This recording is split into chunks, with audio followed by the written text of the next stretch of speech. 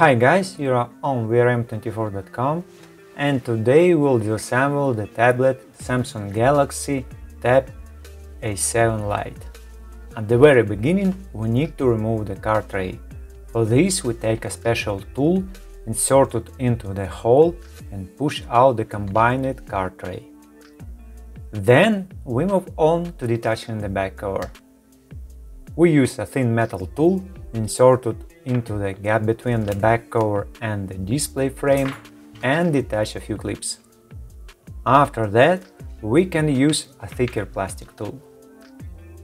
We need to be careful on the corners because on the corners the cover is held specially tight and of course we always need to be careful around the side buttons because they are physically located in these places.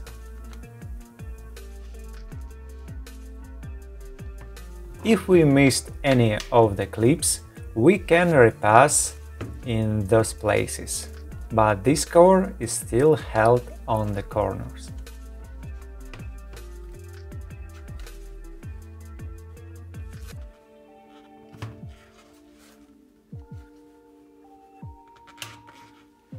and we open up the back cover. The antenna contact pads are located on the cover. Then we move on to unscrewing the screws. We use a 1.5mm Phillips screwdriver or HTO. We unscrew the screws, securing the loudspeaker and the connector bracket.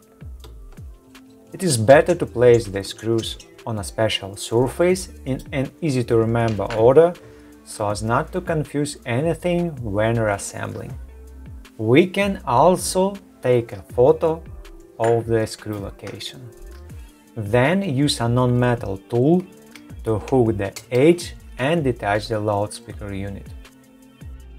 And now there is nothing to prevent us from disconnecting the battery connector.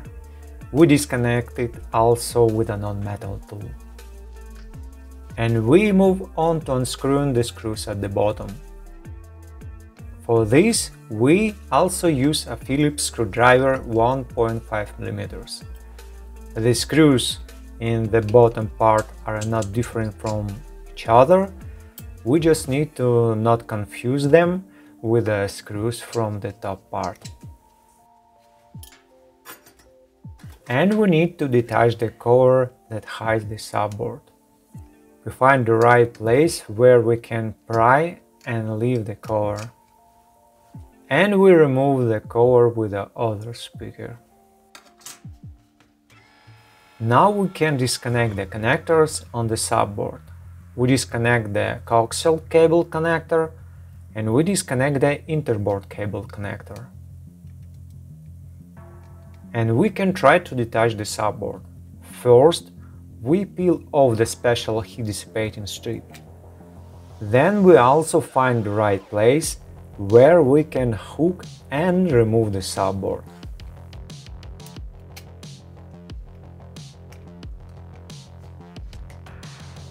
On the subboard we have the charging port, microphone, headset jack port and other elements on the inside.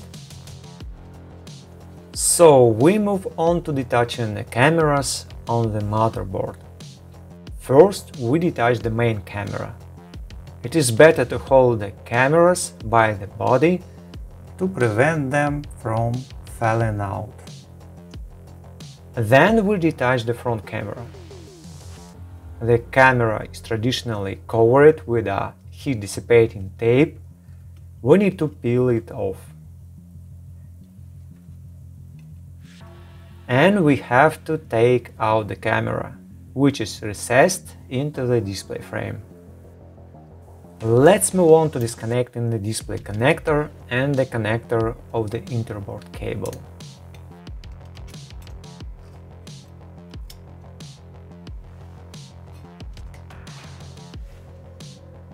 And we need to unscrew the screws that secure the motherboard.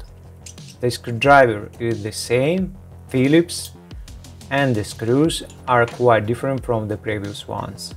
They are short silver ones with a big cap. After that, we need to disconnect the connector of the coaxial cable, which we missed, we bend the cable slightly. And also we find the right place where we can hook and leave the motherboard. We make sure that nothing is in the way and remove the motherboard. Finally, we move on to detaching the battery. We need to unwrap the two black tabs. These tabs are the ends of the adhesive tape that we need to pull to detach the battery.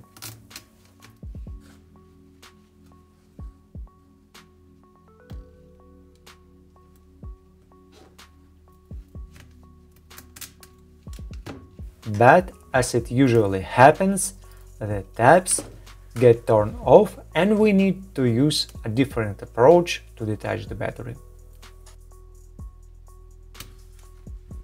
First, we use a thin plastic film.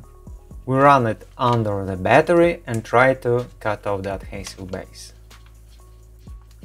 By the way, we won't use heat or isopropyl alcohol in this video, just in case. Then we can use a thin metal tool to leave the battery to make it easy to work the plastic film. The main thing for us is not to damage the battery shell. So we shouldn't act forcibly. And we continue to use the film and cut off the adhesive.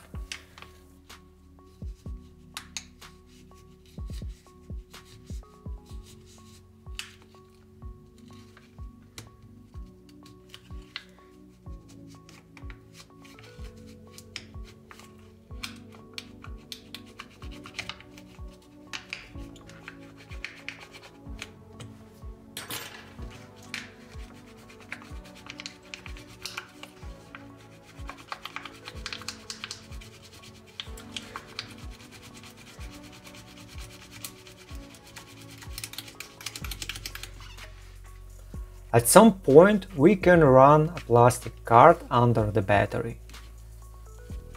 The card is much more convenient and much easier to work with.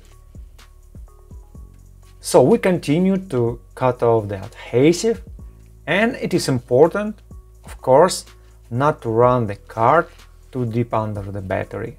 Otherwise we can damage the cables located in the middle.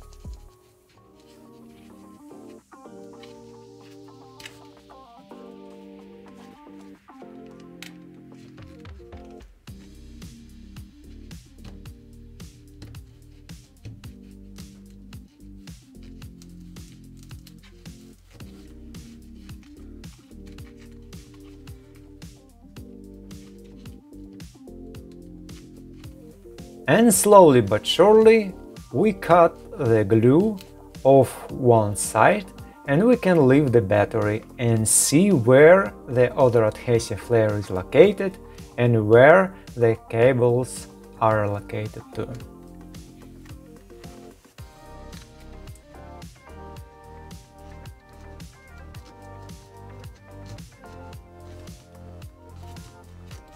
So as it becomes clear to us, we need to go to the other side, where we continue to detach the battery and cut off the adhesive layer with a plastic card.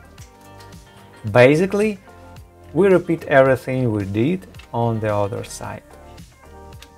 And of course, the plastic card is much easier and faster to work with, because the plastic film actually rolls up in these places.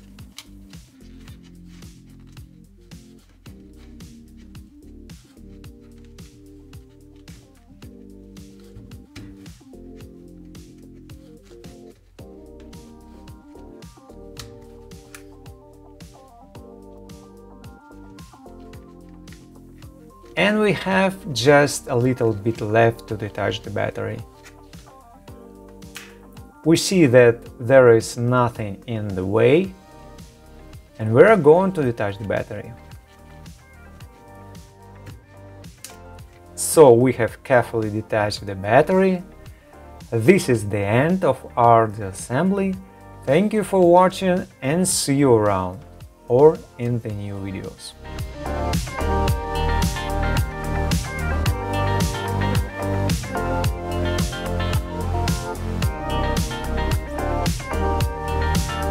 Okay guys, now we're done. Thank you for watching. If you like what we do, please consider subscribing to our YouTube channel read our articles on our website. Take care of yourself and until next video.